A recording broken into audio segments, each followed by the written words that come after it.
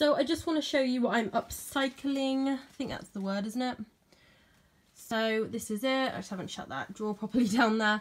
Um, as you can see, it's very like dirty. Um, it's very worn and just in general it just doesn't look that great you know it's this is a tiny room as it is there's one that side I've already taken the drawers out you know but it just looks awful um, Amelia's been playing up there so it's a total mess as well um, but yeah so I found this really nice you know really light grey closer to white colour and I am excited to see what it looks like. I have taken all of the knobs off the drawers. I'm not 100% sure what to do with them yet because you know they're just kind of plain wooden ones.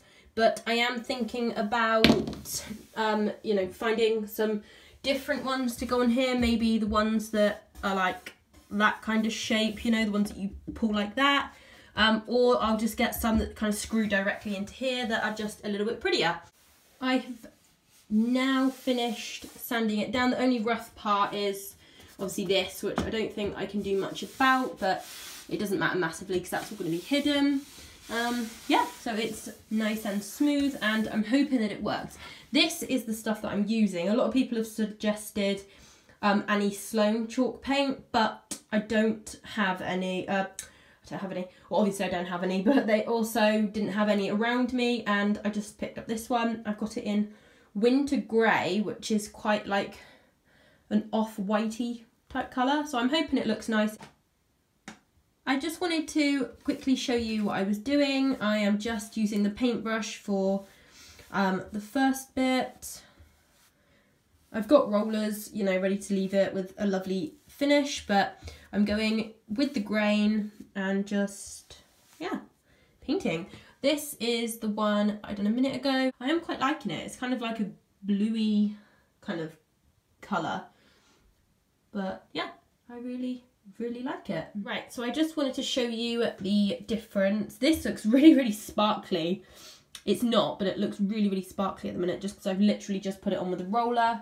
Um, and that is the one that I've done with the brush. I think I'm going to have to wait to see what this dries like properly before I kind of decide whether I like really, really want it rolled or whether I would rather have it painted because that looks quite nice, whereas, like I say, this looks really, really shiny and strange. So, yeah, I guess we'll just see what it's like. And once it's dried, I just kind of wanted to show you the difference at the minute. All four drawers have now been rolled up. They're looking alright so far. It is the next morning. Um, these have like fully dried. I'll just go ahead with the waxing. Here we have the completely painted drawer I think that is looking all right to be fair. It's been sanded down. Um, so yeah, I'm all right with that. I've just been to the garage to get some of these. They're low lint cloth so that I can apply the varnish. I'm finally moving on to the big cupboard. So I'm to get the masking tape and just tape up all like the underneathy bits because this part I'm at the minute I want it to stay the natural wood. As you can see, I've sanded it down. It's so smooth. All those yucky marks that were here are all gone. So yeah, I'm hoping that it will look really, really nice once it is waxed as well. But right, for now, I'm just to get painting the sides, which have also all been sanded and wiped over with a tack cloth. I'm actually so happy with the way that this looks. I think with that kind of grey colour, with this light wood actually looks really, really nice. So what I'm going to do now is wax up tops, wax up all the sides and everything. This one needs a bit of sanding first. These ones um, should kind of be ready to go with just for the wax.